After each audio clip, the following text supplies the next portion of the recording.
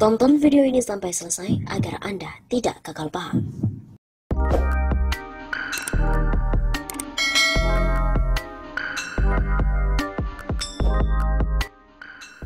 Halo gengs, kabar terbaru datang dari ahli hukum dan tata negara Yusril Ihsan Mahendra. Siapa sih yang gak tahu dia? Di mana dia adalah seorang advokat yang sudah memenangkan Jokowi Ma'ruf di sengketa Pilpres 2019 kemarin. Sekarang pun ia dikabarkan telah mendorong untuk parpol-parpol terkorup dibubarkan. Nah, yang jadi pertanyaan, parpolnya siapa tuh? Begini selengkapnya. Ahli hukum Gem Politikus Yusril Iza Mahendra mendorong pembubaran parpol korup. Pemerintah pun perlu beraksi mengajukan permohonan ke MK supaya partai korup dibubarkan. Namun, PDIP tak setuju dengan cara berpikir Yusril. Loh, kok PDIP sewot sih? Ketua DPP PDIP Hendrawan Supratikno berpendapat bahwa pelaku korupsi selalu dapat dibedakan dari ideologi yang dijunjung oleh partai. Artinya, yang korupsi itu adalah anggota partai secara pribadi, bukan partai secara institusional.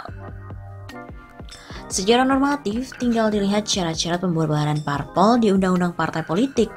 Yang jadi soal yang korupsi selalu individu, dan itu pasti berbeda dengan nilai-nilai dasar yang menjadi idealisme partai, berbeda dengan cita-cita dan misi partai yang ada dalam ADART.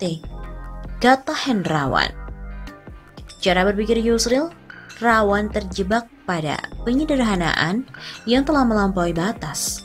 Soalnya satu partai tentu punya banyak kader dengan berbagai karakter individu masing-masing. Keadaan satu kader tak bisa begitu saja menjadi cerminan keseluruhan partai. Maka bila satu kader melakukan korupsi, belum tentu partai itu korup secara keseluruhan. Lah, yang jadi pertanyaan kan PDIP kadernya kader-kader yang korup semua. Kata Hendrawan, tidak boleh gegabah dalam mereduksi partai hanya berdasarkan perilaku individu per individu. Um, padahal individu kan juga mencerminkan kolektivitas. Nah, gengs, desakan Yusril tak bisa diterima dong. Pembuktian satu parpol sebagai institusi full korup bakal menjadi pekerjaan yang nyaris mustahil.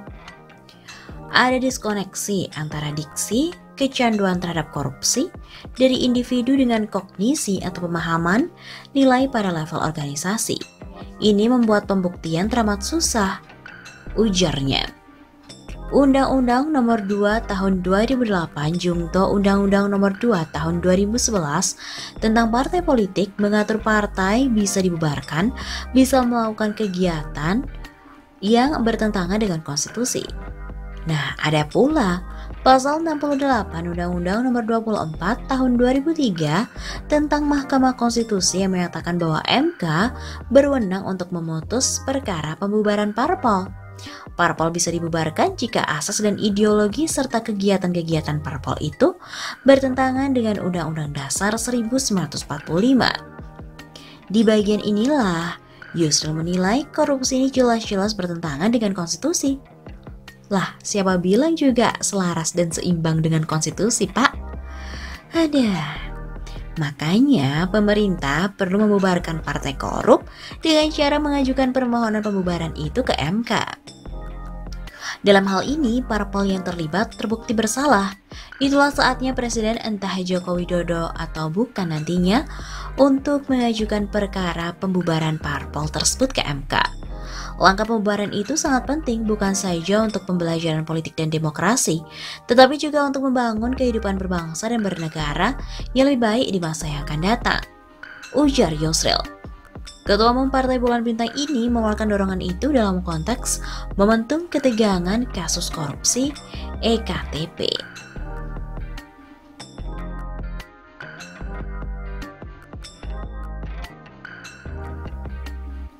Berdasarkan pendapatnya itu, Yusril menyebut parpol itu bisa dikategorikan sebagai korporasi yang dapat diusut oleh KPK.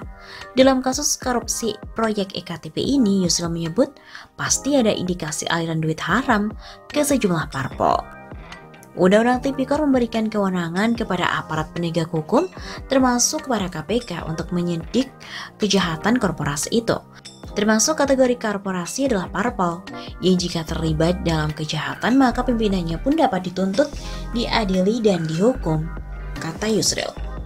Apabila nantinya KPK mengusut parpol dengan pidana korporasi hingga putusannya ini berkekuatan hukum tetap, menurut Yusril, parpol masih belum bisa begitu saja dibubarkan. Pembubaran parpol pun menurut Yusril harus diawali permohonan pemerintah ke MK. Parpol bisa dibubarkan jika kegiatan dan ideologinya tidak sesuai dengan Undang-Undang Dasar 1945. Langkah pembubaran itu sangat penting, bukan saja untuk pembelajaran politik dan demokrasi, tetapi juga untuk membangun kehidupan berbangsa dan bernegara yang lebih baik di masa yang akan datang. MK memang sangat perlu untuk memutuskan bahwa parpol yang melakukan korupsi adalah partai yang melakukan perbuatan di mana merusak sendi-sendi kehidupan berbangsa dan bernegara. Dan atas dasar itulah, MK menyatakan bahwa perbuatan parpol tersebut adalah bertentangan dengan Undang-Undang Dasar 1945 dan karenanya cukup alasan konstitusional untuk membubarkannya. Tentang aliran uang EKTP ke parpol memang sempat mengemuka dalam persidangan kasus yaitu kasus EKTP tersebut. Saat itu jaksa KPK mencecar salah satu dari vendor proyek EKTP, Charles Sutanto, yang merupakan mantan country manager HP Enterprise Service, soal kode merah, kuning, dan biru kepada Charles. Kode-kode itu disampaikan Charles dalam BAP ada partai kuning, merah, dan biru. Ini maksudnya apa? Saya dengar begitu itu dari market. Jelas Charles. Jaksa pun kembali membaca BAP Charles. Partai kuning Golkar, merah PDIP, dan biru Demokrat.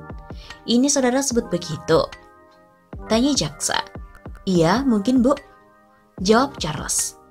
Nah selain itu, salah satu terdakwa dari kasus tersebut, Setia Novanto pun juga mengungkapkan adanya aliran uang EKTP ke Rapimnas Golkar melalui keponakannya yaitu Irvanto Hendra Pambudi Cahyo sebesar 5 miliar rupiah. Namun Novanto mengaku sudah mengembalikannya ke KPK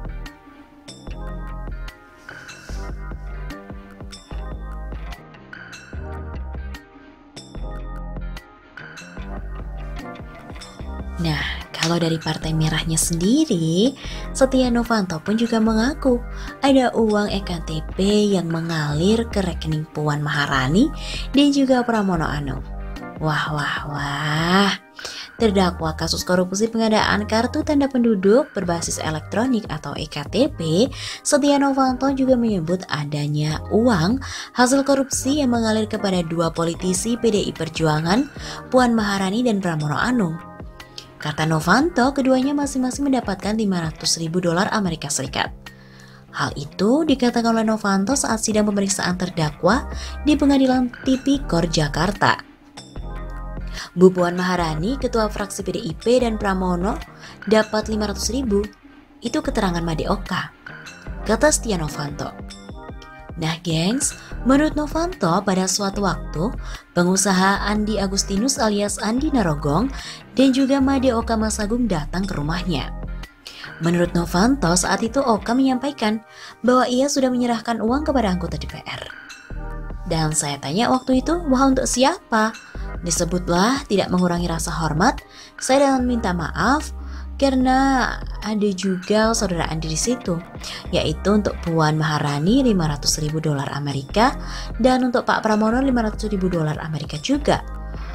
Saat majelis hakim mengkonfirmasi ulang keterangan tersebut, Novanto juga menegaskan bahwa ia hanya mendengar soal penyerahan uang itu kepada anggota DPR dari Oka Masagung dan juga Adi Narogong. Pramono dan Puan tidak termasuk dalam daftar penerima aliran dana korupsi EKTP yang disusun oleh jaksa KPK dalam dakwaan. Nah, nah, nah, gimana tuh menurut kalian? Kalau ada kode-kode partai warna kuning, merah, biru, dan partai ini memang terbukti tetap menjadi partai yang korup. Jadi menurut kalian gimana gengs? Setuju nggak? Seperti pendapatnya Prof. Yusril.